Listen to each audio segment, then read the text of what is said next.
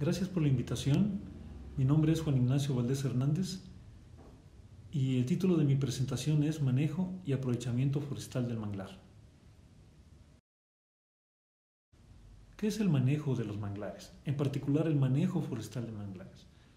Es un instrumento en el cual nosotros estamos compendiando una serie de características del entorno, tanto natural como humano, para poder alcanzar un fin. En este sentido, ustedes pueden apreciar que tenemos tanto un entorno físico como biológico, pero también socioeconómico. En particular, podemos ver que en los recursos naturales existe y últimamente más que nunca un aprovechamiento sustentable. Es aquí donde entra la parte segunda de lo que es la presentación. Como parte de este manejo, necesitamos definir los objetivos. Esos objetivos son muy variados, pero generalmente se enfocan a una protección hidrológica, conservación de la biodiversidad, en los últimos años lo que es el almacenamiento y la captura de carbono, pero tampoco hay que dejar de lado la belleza escénica, lo cual es generalmente escasamente considerada. Otro de los objetivos puede ser también el manejo de la fauna silvestre, que podría ser tanto terrestre como acuática. Y nosotros tenemos aquí ejemplos para peces, moluscos, crustáceos, aves y reptiles. Nosotros nos enfocaremos en esta presentación exclusivamente al aprovechamiento sustentable de madera, sea para construcción, para leña, para tutores o algunos otros usos que podrían ser domésticos o comerciales.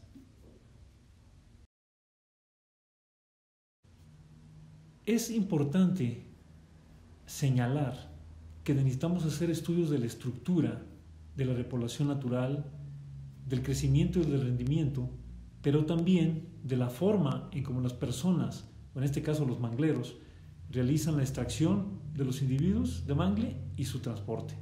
Para eso nosotros necesitamos hacer estudios específicos que nos lleven a sustentar el aprovechamiento sustentable del cual me he referido antes.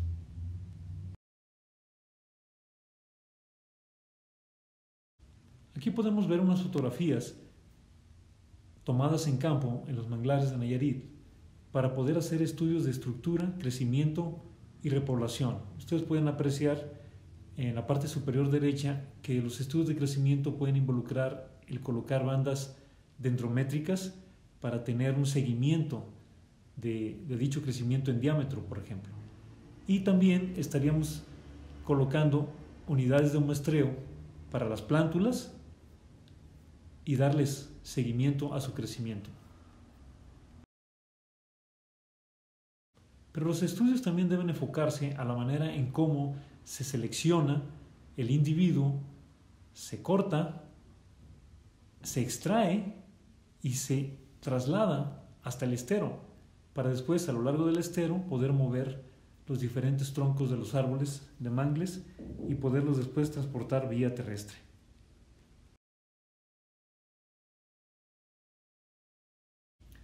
Todo esto debe de ir a la par con una zonificación del ecosistema. En este sentido, inicialmente, la zonificación la enfocamos a tres diferentes zonas, precisamente, protección, conservación y aprovechamiento.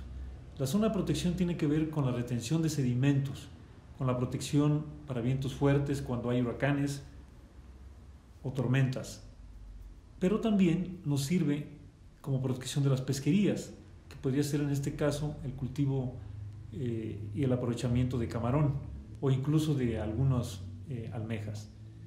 La zona de conservación se enfoca principalmente a aquellos lugares en donde hemos identificado que existen especies de flora y fauna que están en la norma 059, que tienen alguna condición de conservación o de vulnerabilidad, como podrían ser especies en peligro de extinción, amenazadas o endémicas.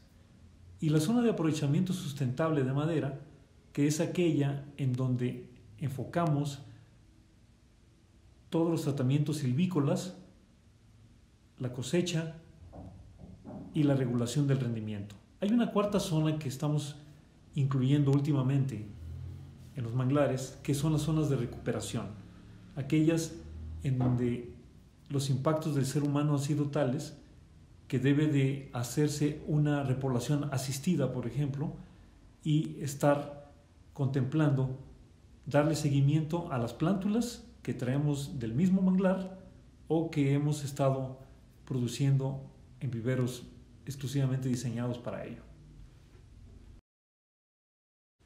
Todo lo que les he mostrado hasta este momento nació hace ya casi 30 años. Es decir, en la época de los 80 del siglo pasado, particularmente en 1985, fue mi primer encuentro con los manglares del estado de Nayarit y de hecho mi primer encuentro con los manglares en general. En ese momento me encontraba yo desarrollando mi tesis de licenciatura. Eh, al paso de los años, y ya en los años 90, nos encontramos con la problemática en la misma zona del estado de Nayarit, que vino una prohibición acerca de la extracción de la madera de mangle, sobre todo por algunos grupos que mencionaban, dicho por ellos mismos entre comillas, que esta extracción de madera estaba acabando con el manglar. En ese sentido, y cuando estaba yo ya desarrollando mi tesis de maestría, se acercaron varios presidentes de comisariados ejidales para manifestarme esta problemática. Y bueno, yo les comenté que era necesario hacer los estudios para saber precisamente qué es lo que teníamos, cómo estaba creciendo, cómo deberíamos estarlo extrayendo, pero bajo el conocimiento que ellos tenían. Es decir, hacer el diagnóstico que les presenté antes, pero un diagnóstico referido tanto al manglar, su ambiente físico natural, como al entorno humano, es decir, cómo ellos estaban realizando sus actividades. Todo esto fue plasmado en los planes de manejo de un estudio piloto que hicimos, en este caso con el ejido de San Blas, del cual ustedes han visto ya las imágenes. Y las conclusiones principales que obtuvimos son dos. La primera, que no se compromete la permanencia del bosque, de la manera como se está haciendo la extracción de la madera de mangle, y que es posible conservar el manglar con un manejo regulado de esta corta de madera.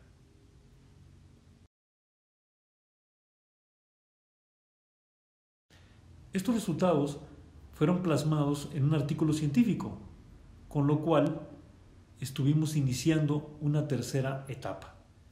Esta tercera etapa podría decirse que es en los años 2000, ya de este siglo XXI, en donde empezamos la publicación de artículos científicos en revistas indizadas, reconocidas, dicho de otra manera, por el Consejo Nacional de Ciencia y Tecnología.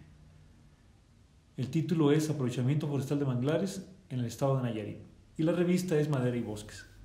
Aquí se plasmó todo lo que obtuvimos desde el punto de vista técnico y científico para poder ser la base de este manejo forestal sustentable de manglares.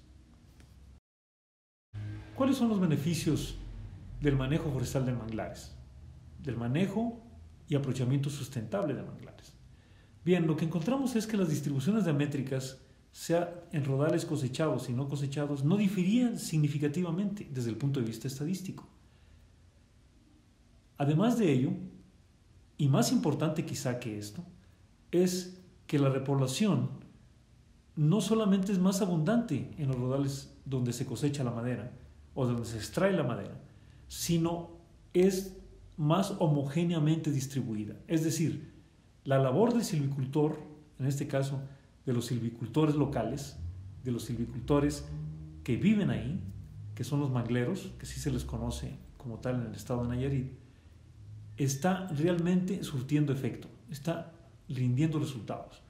Esa repoblación, es decir, las plántulas, están más homogéneamente distribuidas. Y esto de alguna otra manera se debe, nosotros lo sabemos como, como silvicultores, como forestales a que la apertura del dosel permite mejorar las condiciones de iluminación, sobre todo la luz que llega a las partes bajas del bosque o sotobosque.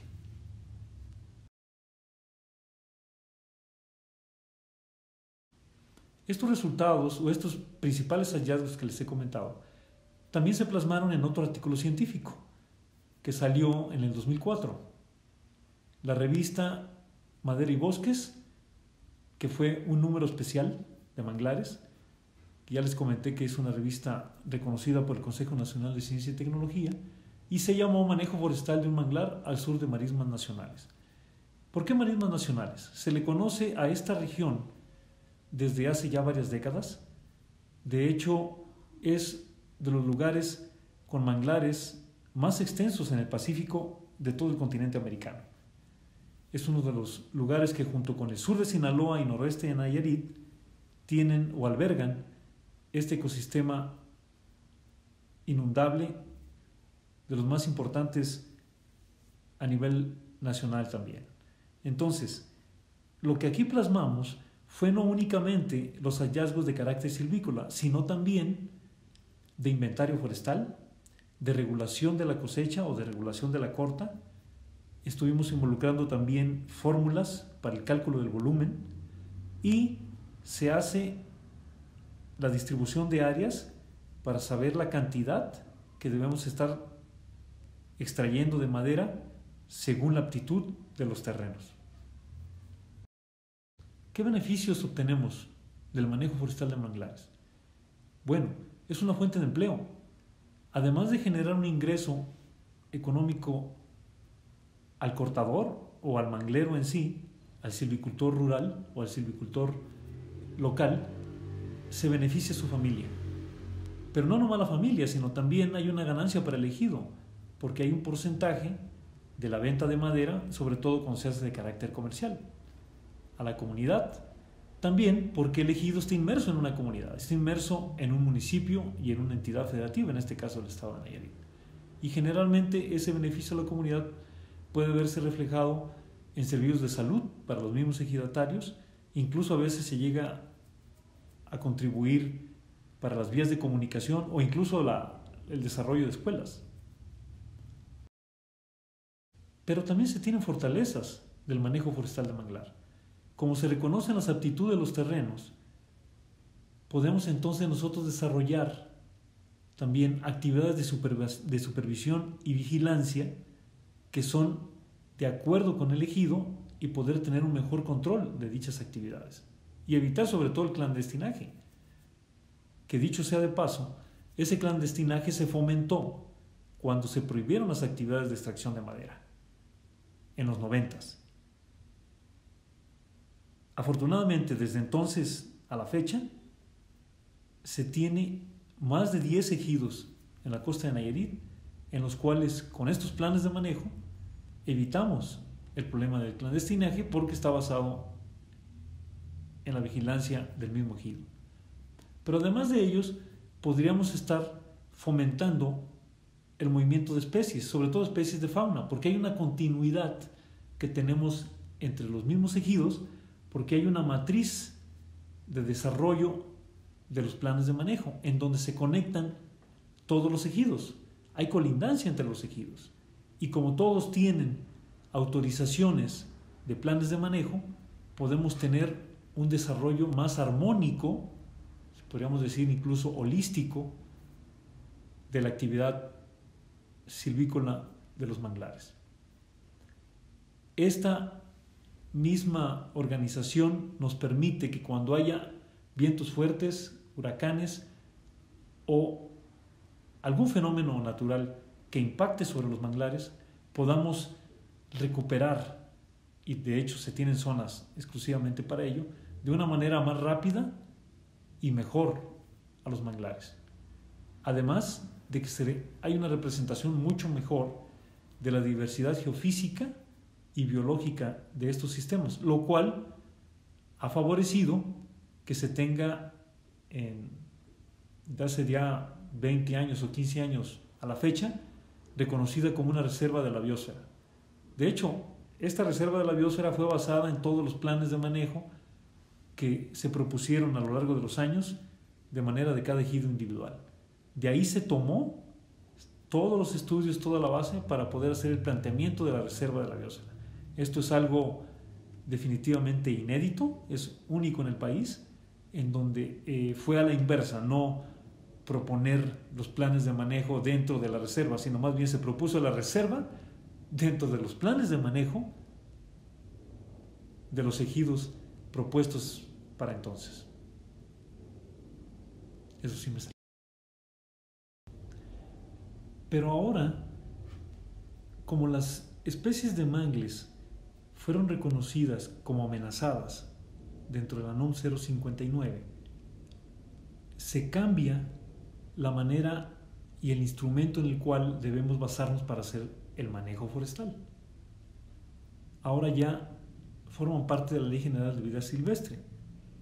Y en dicho reglamento, con los artículos que ahí se escriben, se requiere presentar un documento el cual debe estar primero basado en la autorización de una UMA.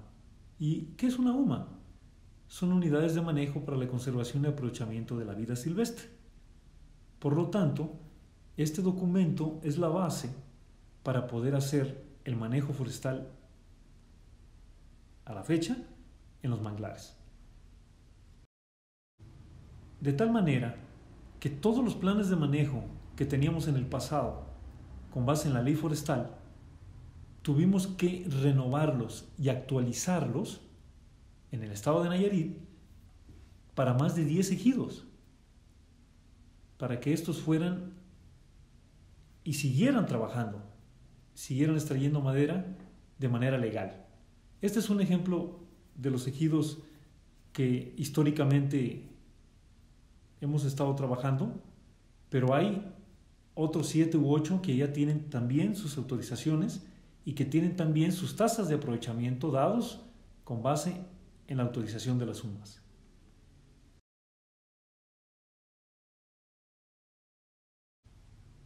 En esta diapositiva podemos eh, apreciar que estamos ingresando a otra etapa de la cual yo les hablaba.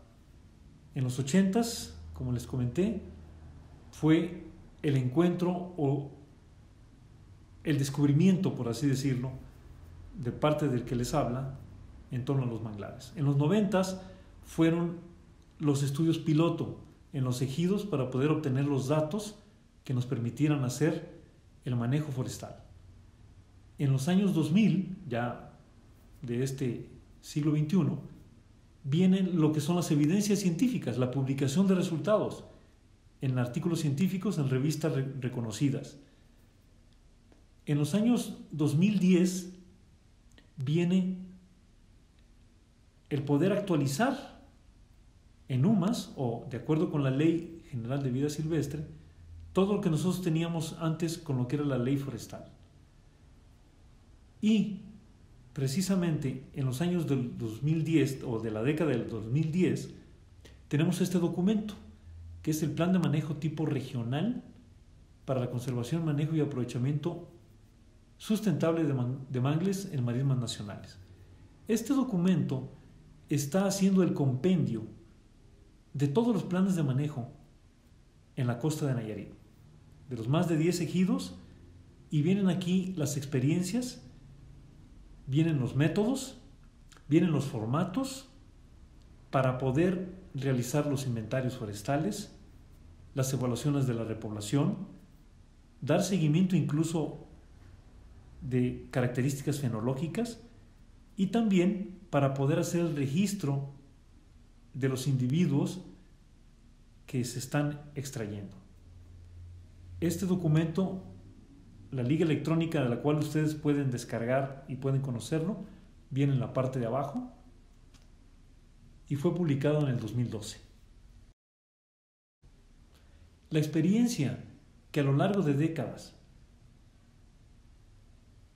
hemos estado trabajando con los manglares en Nayarit fue posteriormente seguida por otros ejidos, sea por invitación, sea porque nos conocieron de lo que estábamos trabajando, pero también por el intercambio de experiencias.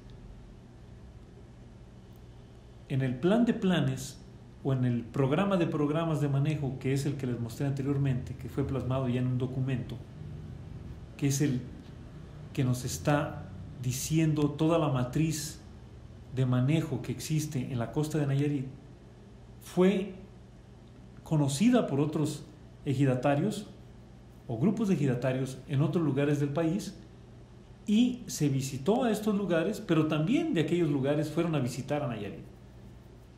En ese momento se recibió apoyo de CONAFOR y, por ejemplo, ejidatarios de Chiapas visitaron al ejido de San Blas. Pero también se hicieron varios encuentros en donde la Asociación de Mangleros, que así se reconoce en Nayarit a grupo de, de mangleros que trabajan, recibió a ejidatarios tanto de Tabasco como de Veracruz y de otros lugares del país. De hecho, estuvimos impartiendo talleres, tanto el que les habla como los compañeros de la Asociación de Mangleros, en diferentes estados de la República, 14 estados costeros. Pero fue en estos tres estados, Chiapas, Tabasco y Veracruz, en donde se pudo lograr tener las sumas autorizadas y los planes de manejo con sus tasas de aprovechamiento. Otra época que le podemos nombrar, que es ya la época más reciente, que es los últimos cinco años, sería la etapa de consolidación. Posteriormente a lo que es el descubrimiento, lo que es los primeros pasos, por así decirlo, después vino eh, los estudios piloto, las evidencias científicas, la etapa de consolidación, como podría decirse para el caso de Nayarit, pero también de difusión hacia otros ejidos, hacia otros lugares del país, y ahorita podríamos tener en una etapa de difusión o de divulgación. En esa etapa de difusión o de divulgación, que son los últimos cinco años, publicamos un artículo en una revista de divulgación científica, se llama Agroproductividad, y el título del artículo es un artículo muy, muy breve, de hecho es una, una nota de difusión técnico-científica, es aprovechamiento maderable de especies arbóreas amenazadas y es el caso, o es el ejemplo, también podemos decirlo, de los mangles en México. Ustedes pueden descargar este, eh, este artículo, y aquí está la liga electrónica, y es un ejemplo de cómo también podemos hacer difusión y divulgación de nuestros resultados. En este artículo de divulgación, que de hecho olvidé decirles que la revista Agroproductividad está reconocida también por el Consejo Nacional de Ciencia y Tecnología, plasmamos lo que es la experiencia de la formación de recursos humanos, tanto por parte del que les habla, como por parte de los mangleros ejidatarios que reciben a otros ejidatarios de otros lugares del país. Bueno, en este sentido ya son más de 30 talleres y cursos de capacitación que a lo largo de estos décadas y últimos años hemos estado trabajando en no menos de 14 estados costeros del país. Esto nos lleva a tener más de 400 personas capacitadas, entre productores, que son pescadores, ejidatarios, eh, empleados de gobierno, tanto a nivel federal, estatal y municipal, como técnicos y estudiantes. Nos ha llevado a tesis de doctorado, maestría y licenciatura.